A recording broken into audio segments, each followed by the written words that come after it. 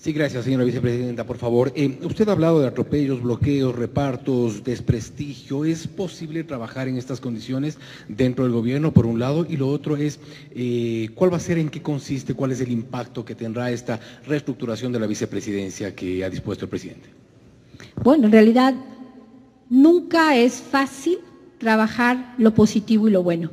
Siempre vamos a tener la adversidad. Cuando alguien quiere hacer lo mejor, siempre vamos a encontrar. Eso nos caracteriza a los líderes, que hemos podido en realidad llegar a tener un espacio notorio, porque el esfuerzo siempre va a ir de la mano.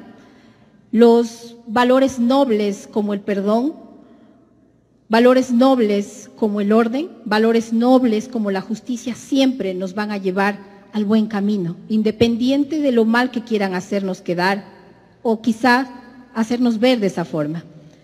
Esto no será la excepción, queridos ecuatorianos, no será la excepción.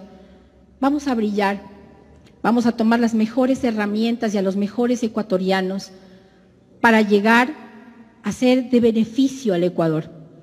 Los ecuatorianos, como vuelvo a repetir, tenemos una marca en el mundo y eso es lo que tenemos que sacar a relucir.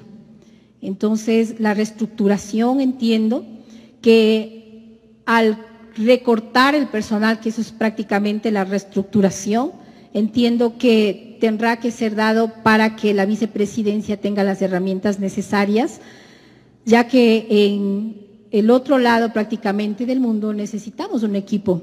Yo no puedo ir sola, no creo que el presidente haya pretendido que vaya sola, a una misión tan importante, tan relevante en el mundo como es en este momento Israel y Palestina. Aparte de todo, soy una mujer que conoce Israel, que sabe las virtudes que existen en ese lugar y sabe también los beneficios que podría traer al Ecuador, sin duda alguna.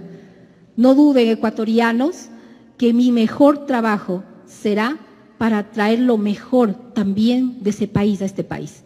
Nunca lo dude, no los voy a dejar. Mi presencia será notable en el Ecuador aún estando kilómetros de distancia, porque ese es mi compromiso con el pueblo ecuatoriano. No abandono el barco.